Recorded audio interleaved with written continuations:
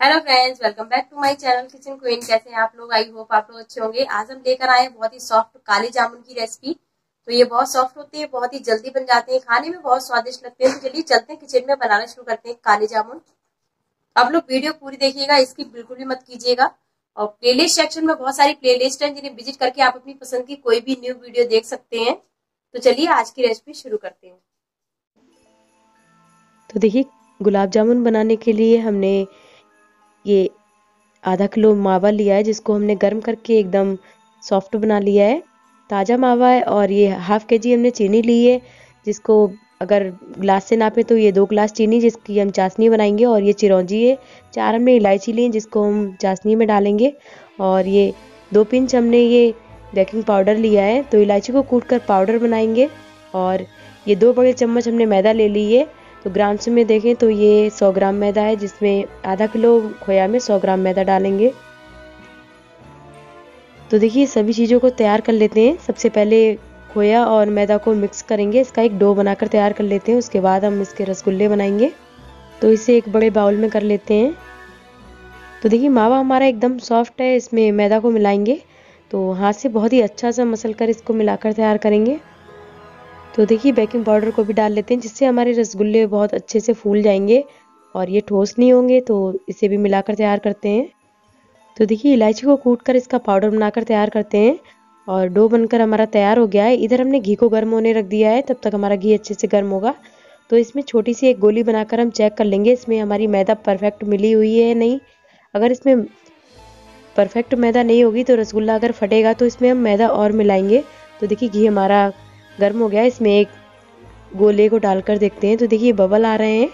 तो इसमें मैदा परफेक्ट मिली हुई है। तो चलिए, इसी तरीके से सभी रसगुल्लों को बनाकर तैयार करेंगे। तो स्टफिंग भरने के लिए हम इसमें केवल चिरौंजी भरेंगे। आप चाहे तो इसमें इसमें कोई भी ड्राई फ्रूट्स डाल सकते हैं। तो देखिए, इसमें बबल आ रहे हैं।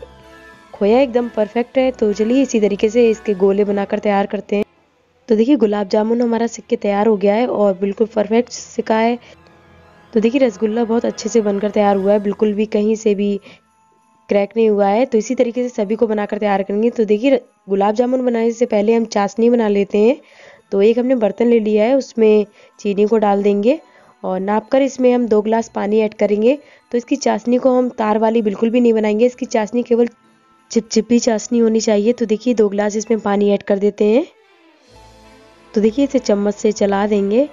और इसमें इलायची कूट कर हमने रखी थी। उसका पाउडर भी इसमें डाल देंगे, जिससे इसमें बहुत ही अच्छी खुशबू आ जाएगी। और रसगुल्ले खाने में बहुत ही टेस्टी लगेंगे। तो इसी तरीके से मिक्स कर देते हैं और इसे रख देते हैं गैस पर। तो चाशनी हमारी मेल्ट होगी, उससे पहले हम अपने गुलाब जामुन भी बनाकर तैयार कर लेते हैं। चाशनी को मेल्ट होने देंगे। तो देखिए बीच बीच में हम इसको चलाते रहेंगे। तो चलिए, फटाफट से गुलाब जामुन बना लेते हैं। तो इसमें से थोड़ा सा डो उठाएँगे और इसको, इस तरीके से हाथ से गोल करेंगे। तो इसको पहले चपटा कर लेंगे, उसमें ये तीन से चार हम चिरौंजी को रखेंगे और इसको गोल करेंगे। इसे बहुत अच्छे से गोल करना है, इसमें एक भी क्रैक नहीं रहने चाहिए, तभी ये फटेंगे नहीं और बहुत ही परफेक्ट हमारे गुलाब जामुन बनकर तैयार होंगे। तो देखिए इस तरीके से हाथ से इसको गोल कर लेंगे। तो देखिए गुलाब जामुन बनकर हमारा तैयार हो गया। इसी तरीके से सभी को बनाकर तैयार कर लेंगे। तो गुलाब जामुन का साइज़ आप अपनी पसंद से छोटा या बड़ा कर सकते हैं। तो चलिए इसी तरीके से सभी को बनाकर तैयार कर लेते हैं। उसके बाद गुलाब जामुन को फ्राई करेंगे। तो देखिए, चाशनी को भी चेक करके देख लेते हैं। चाशनी हमारी सही हो गई है या नहीं? तो देखिए, चाशनी हमारी एकदम तैयार हो गई है। तो गैस का फ्लेम ऑफ़ कर देंगे और रसगुल्लों को भी इधर फ्राई कर लेते हैं। चाशनी को ढककर रख देंगे। चाशनी हमारी ज़्यादा ठंडी नहीं होनी चाहिए। तो इसमें चार से पाँच केसर के धागे डाल देते हैं, जिससे इसमें बहुत ही अच्छा कलर आएगा।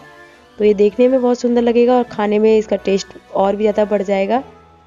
तो देखिए, सभी गुलाब जामुन को हमने भरकर तैयार कर लिया है। बहुत अच्छे गुलाब जामुन बन गए हैं। तो देखिए, इसी तरीके से इन्हें एक एक करके फ्राई करेंगे। तो देखिए, गुलाब जामुन एक एक करके हम कढ़ाई में डालेंगे। इसमें घी भरपूर होना चाहिए, ज़्यादा कम घी होगा तो ये तली में लग जाएँगे, इसलिए इसमें ज़्यादा घी होगा, तभी ये अच्छे से सिक कर तैयार होंगे। तो देखिए धीरे धीरे करके ये ऊपर आ जाएँगे। तो घी हमें मीडियम चाहिए इसका घी बिल्कुल भी हाई फ्लेम नहीं होना चाहिए। तो इस तरीके से इसको जब एक साइड से सिक जाएँगे, तभी हम कड़छी से इसको पलटेंगे। तो देखिए, बहुत ही अच्छे लग रहे हैं, सुंदर बहुत लग रहे हैं देखने में।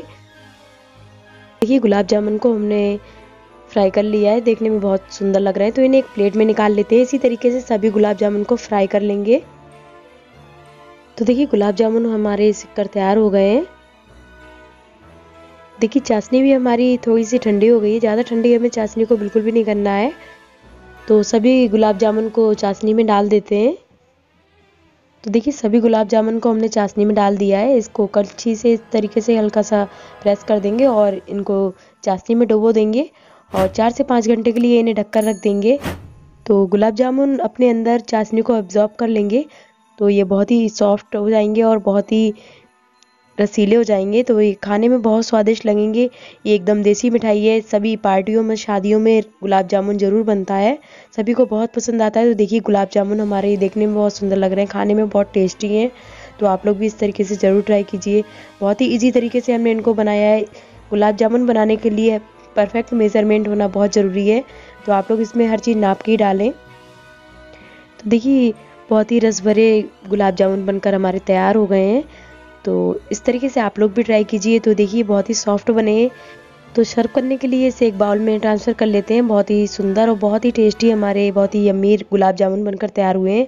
तो इस तरीके से आप लोग भी ट्राई कीजिए। आई होप आप लोगों को हमारी ये गुलाब जामुन की रेसिपी ज़रूर पसंद आई होगी। तो अगर आप लोगों को हमारी ये गुलाब जामुन की रेसिपी पसंद आई हो तो प्लीज़ कमेंट सेक्शन में ज़रूर बताएँ। आप लोगों को हमारे गुलाब जामुन की रेसिपी कैसी लगी? और हमारी वीडियो को लाइक कीजिए, ज़्यादा से ज़्यादा फैमिली फ्रेंड के साथ शेयर कीजिए। अगर आप लोग हमारे चैनल पर न्यू हैं तो प्लीज़ हमारे चैनल को सब्सक्राइब कर लीजिए। बेल आइकन को प्रेस कीजिए ताकि आने वाली वीडियो की नोटिफिकेशन आपके फ़ोन पर तुरंत पहुँच सके। एक बार फिर मिलेंगे एक न्यू रेसिपी के साथ। अब तक लिए thank you bye bye take care thanks for watching